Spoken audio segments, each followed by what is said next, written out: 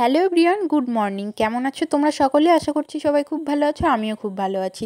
তো চলে এলাম আজকে একটা নতুন ভিডিও নিয়ে। আমার এই নতুন ভিডিওতে তোমাদের সবাইকে ওয়েলকাম আজকের ভিডিওটা কিন্তু ভীষণ ছোট্ট একটা ভিডিও তো স্কিপ না করে পুরো ভিডিওটা দেখতে থাকো।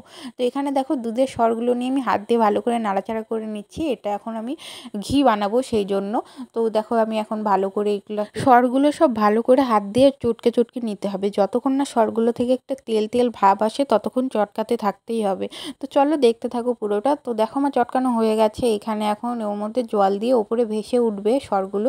সেগুলোকে হাত দিয়ে ভালো করে ছেঁকে ছেঁকে নিয়ে এখন কড়াইয়ে তুলে দিয়েছি। এখন গরম হয়ে গেছে কড়াই আর এইদিকে ঘি ছাড়াও শুরু হয়ে গেছে। এই যে দেখো সরগুলো পুরোপুরি গিয়ে এই যে ঘি তৈরি হয়ে গেছে।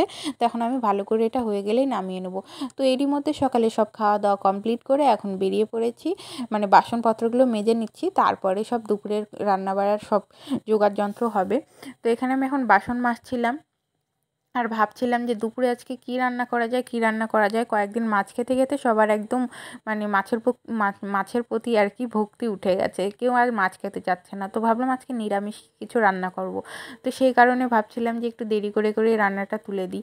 আর এই যে এই সাইডে বিছানাটা আমি ভালো করে গুছিয়ে নিলাম। এরই মধ্যে রান্নাঘরও চলে এসেছি। এখানে একটা নিরামিষ তরকারি হবে, এখানে কুমড়ো ভাজা হবে, আর এখানে অল্প করে কুমড়ো রাখা আছে। এটা হবে চপ। তো তারপরে এখানে আমি রান্নাটা তুলে দিয়েছি। আর রান্না করতে করতে আজকে ভীষণ শরীরটা খারাপ খারাপ করছিল। যাই হোক এখানে আমি এখন কুমড়ো ভাজাটা ভালো করে ভেজে নেব। তারপরে রান্নাবাড়া কমপ্লিট করে যাব স্নান করতে। কিন্তু রান্না করতে করতে হঠাৎ করে কী জানি হলো, আমার প্রচণ্ড মাথা ঘোরানো শুরু হয়ে গেল আর ভীষণ অস্থির অস্থির লাগছিল।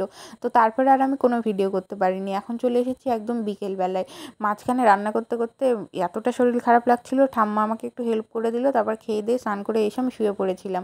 তো এই যে সন্ধ্যেবেলা একটু খিদে খিদে পাচ্ছে, কী করি কী করি? তো ভাবলাম যে চলো একটু ঝাল সুজি রান্না করে খাওয়া যাক এখানে আলু, পেঁয়াজ, লঙ্কা এগুলো ভালো করে ভেজে নেব। সুজি দিয়ে এটা রান্না করব আর কি।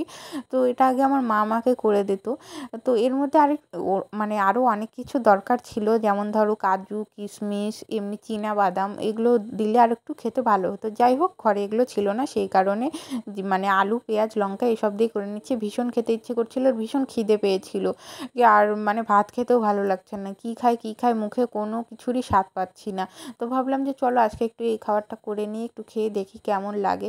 তো এই যে করছিলাম সুজিটাকে একটু তেলের মধ্যে ভালো করে লাল লাল করে ভেজে নেব। তারপরে ওর মধ্যে আরেকটু সুজি দিলাম। তার কারণ পরে মনে করল যে আরেকটু বেশি করে দিই। থাকলে আমি রাত্রেও খেয়ে নেব। আমার আর ভাত খেতে ভালো লাগছে না।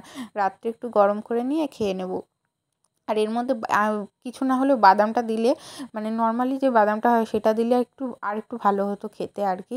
তো যাই হোক, সুজিতে আমি একটু জলটা দিয়ে দিলাম আর জলের পরিমাণটা আমার একটু বেশিই হয়ে গেছে। আর একটু কম দিলে সুজিটা ভালো ঝরঝরে হতো। এটা ঝরঝরে হলে খেতে বেশি ভালো লাগে।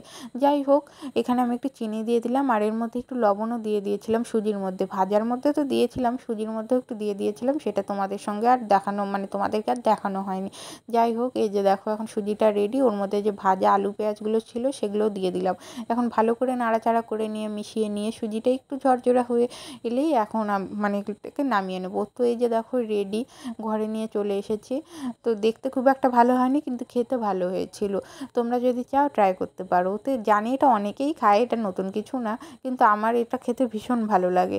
তো যাই হোক, এই যে দেখো খেতে বসে পড়েছি, খেতে ভালোই লাগছিল, কিন্তু পুরোটা খেতে পারিনি, ঢাকা দিয়ে রেখেছিলাম পরে মানে খাব জন্য।